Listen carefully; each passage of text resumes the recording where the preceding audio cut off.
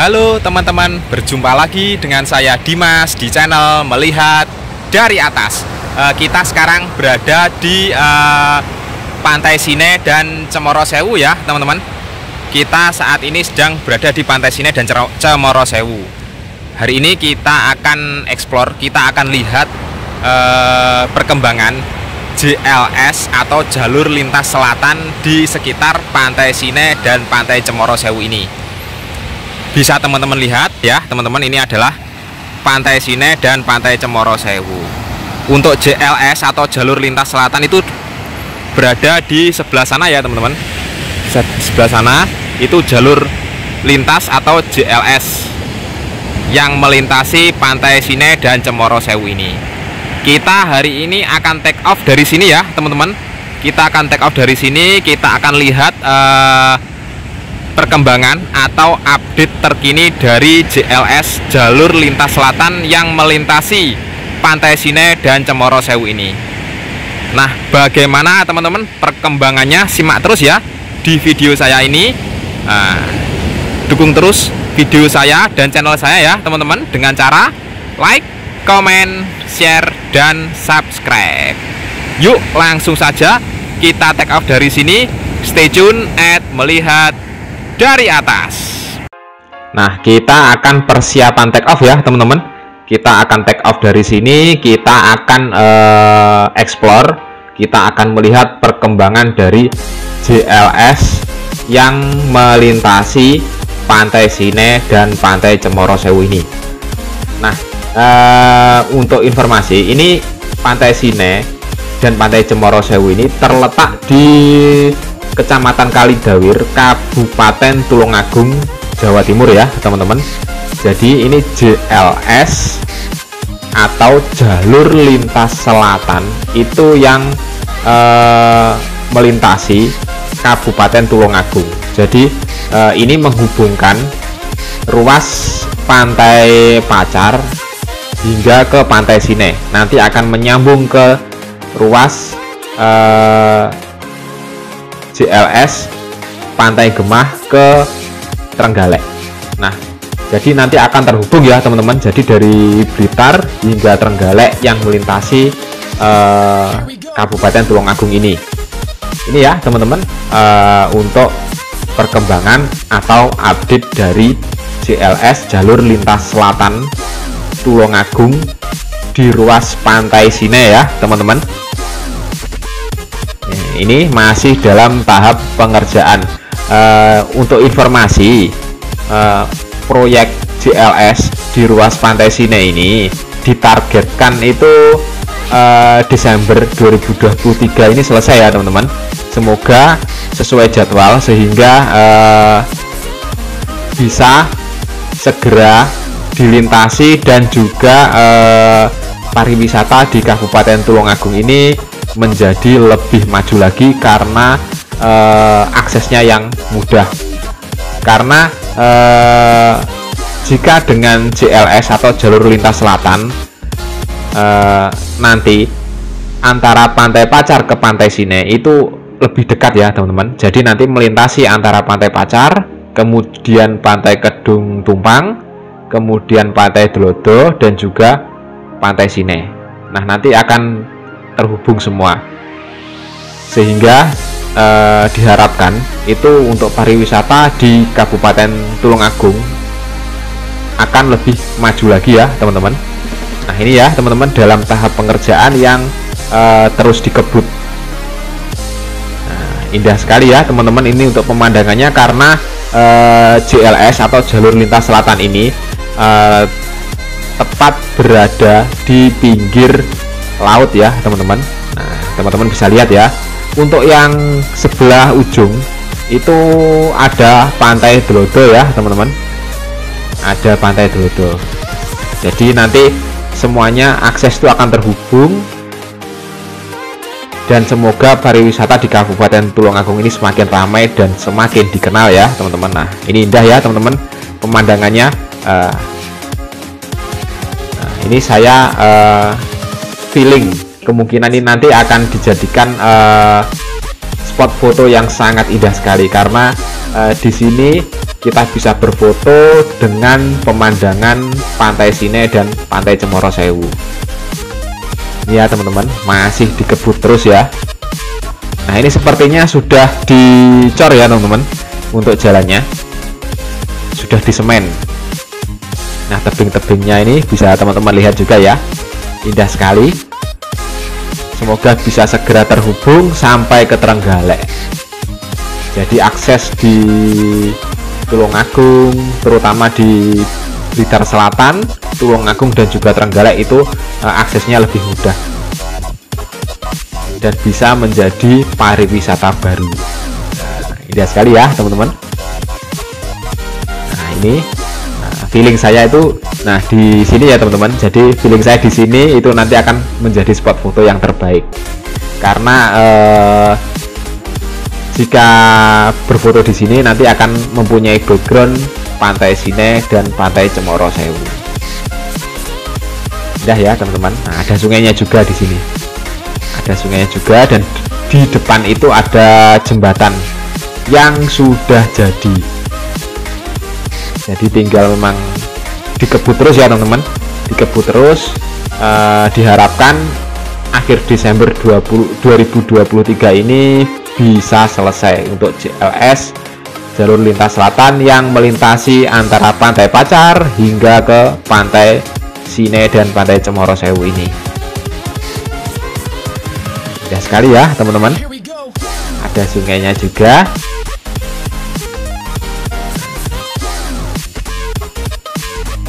ini juga uh, mungkin bisa digunakan untuk pariwisata perahu juga ya teman-teman. Jadi bisa main perahu sampai ke daerah jembatan ini. Sepertinya lebih asik ya teman-teman. Nah, ini pemandangan dari uh, eh, JLS jalur lintas selatan ini ya teman-teman. Ada jembatannya juga yang sudah jadi ya ini ya.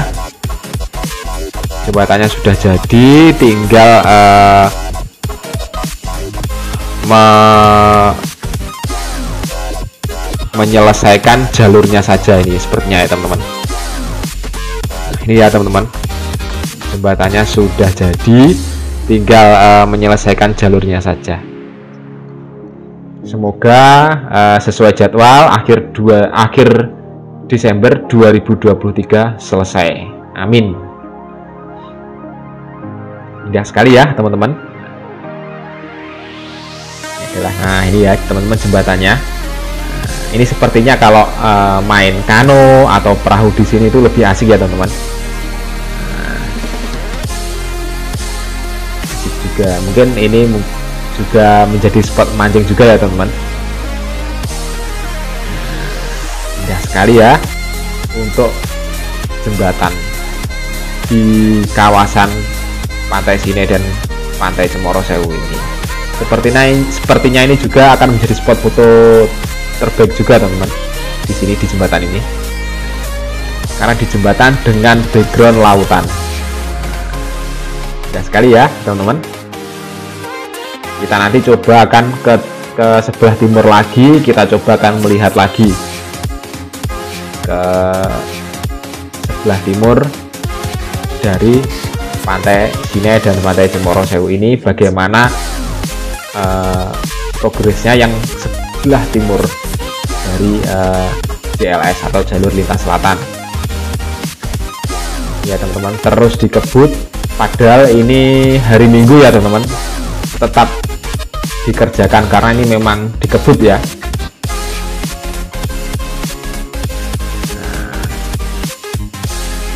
Indah sekali ya teman-teman. Jadi jalannya itu seperti di ruas antara pantai Gemah ke pantai Brigi jadi jalurnya itu berada di pinggir pantai. Mirip sekali dengan jalur dari pantai Gemah ke pantai Brigi tersebut. Berada di pinggir pantai. Ya sekali ya teman-teman.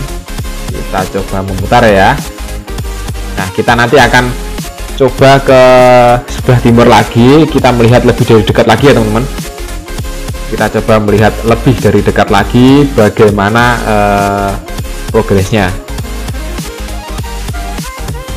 Karena saya sekilas melihat uh, di ujung sana itu sepertinya sudah diaspal. Nah, indah sekali ya teman-teman. Ruas uh, pantai pancar ke pantai sini ini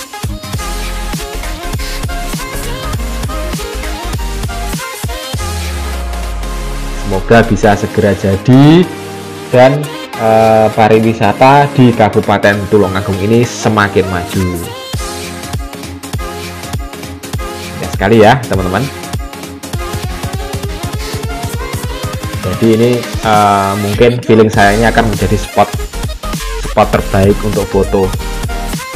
Karena dengan nuansa background pantai Sine dan pantai Cemoro Sewu kita coba menuju ke sebelah timur lagi ya teman-teman. Nah ini ya pemandangan lautan ya teman-teman. Pemandangan lautan. Jadi eh, jalannya memang berada di pinggir lautan. Yuk kita coba coba ke arah timur lagi. Kita coba lebih jauh lagi ya teman-teman. Nah, ini ya. Kalau ini sepertinya sudah dicor atau disemen. Tapi saya melihat yang ujung sana itu tadi kok sepertinya uh, sudah diaspal. Kita coba cek ya teman kita coba cek. Indah sekali ya gradasi gradasi apa? Air lautnya ya teman-teman. Kita coba ke lebih ke timur lagi itu di ujung bisa teman-teman lihat ada pantai itu ya. Itu pantai Delodo ya teman-teman. Pantai Delodo yang sudah pernah saya uh, bikin konten di video saya sebelum-sebelumnya ya teman-teman. Kita coba kita coba lebih jauh lagi. Sepertinya memang nah kelihatan ya teman kita coba lebih dekat lagi. Sepertinya memang sudah diaspal yang sebelah sana ini coba kita uh, menuju ke sana dan lebih dekat lagi ya teman-teman. Kita coba mendekat lagi. Ini jarak dari saya uh, jarak saya dari drone ini itu kurang lebih sekitar satu kilometer teman-teman. Jadi jauh ya teman-teman ini dari arah pantai ini tadi. Karena saya uh, mengoperasikan drone ini dari pantai pantai Cemoro Sewu. Jadi kurang lebih satu kilometer dari arah pantai ini. Ini ya teman-teman memang benar sudah di aspal di sebelah sini teman-teman. Bisa teman-teman lihat ya. Sudah di aspal. Indah ya teman-teman pemandangannya sudah diaspal ternyata teman-teman di, di sebelah sini.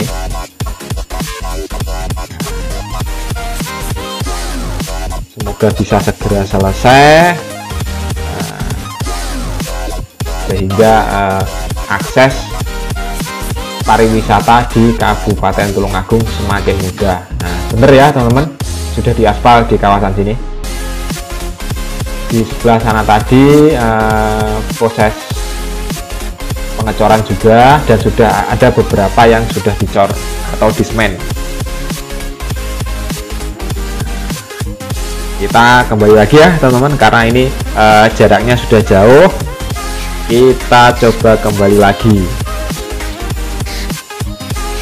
Ini ya teman-teman.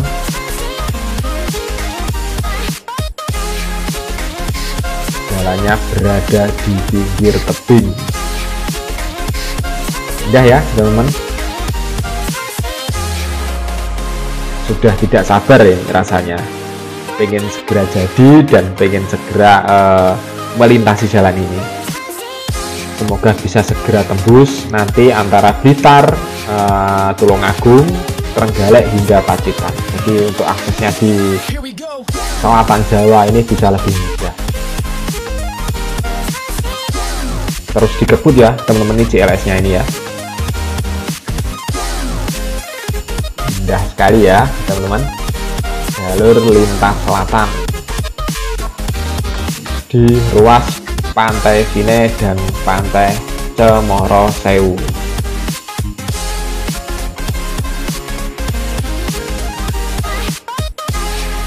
Ya ini ya teman-teman ini kalau di sebelah sini memang eh, sepertinya sudah dicor atau disemen.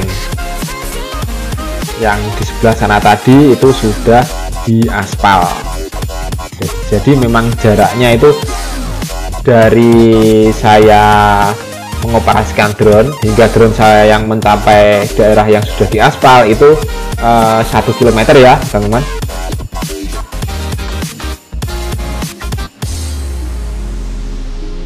Indah sekali. Jadi jika teman-teman nanti berfoto di kawasan sini backgroundnya itu uh, pantai Sine dan pantai Cemoro Sewu ya teman-teman. Saya yakin kalau ini sudah jadi pantai Sine akan lebih ramai lagi. Karena aksesnya semakin mudah. Antara pantai Pacar pantai Kedung Tumpang kemudian pantai Blodo hingga pantai Sine jika jalan ini sudah terhubung saya yakin pasti akan lebih ramai lagi. Karena aksesnya sangat mudah melalui JLS atau jalur lintas selatan. Ya, sekali ya teman-teman. Ini kawasan jembatan yang tadi ya teman-teman. Kita lihat tadi yang pertama. Mengobati rasa penasaran teman-teman ya. Ini sudah mengobati ya teman-teman bagaimana progres atau update dari uh, jalur lintas selatan antara pantai Pacar hingga pantai Sineng karena memang ditargetkan di akhir tahun uh, 2023 ini selesai. Semoga sesuai jadwal ya teman-teman. Tepat sesuai jadwal ya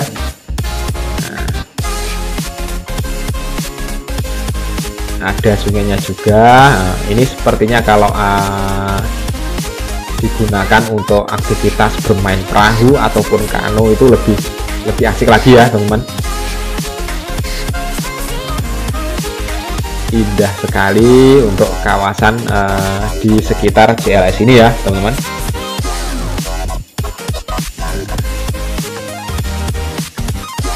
semoga bisa segera jadi dan dibuka untuk umum. Amin.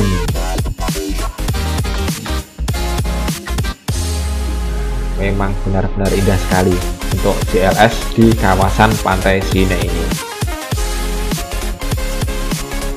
Ini ya teman-teman. Jembatannya sudah jadi uh, jadi uh, untuk proyeknya itu tinggal uh, sepertinya cor dan aspal di kawasan sini. Nah, sekali ya teman-teman untuk pemandangan di sekitar CLS atau jalur lintas selatan antara pantai Pacar ke pantai sini ini.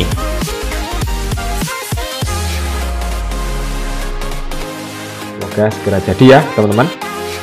Mungkin uh, sekian dulu explore dari saya tentang update JLS atau jalur lintas selatan yang menghubungkan antara Pantai Pacar ke Pantai Sine dan Pantai Cemoro Sewu ini. Uh, dukung terus video saya dengan cara like, comment, share, dan subscribe. Sampai jumpa di video saya selanjutnya ya teman-teman. Bye-bye.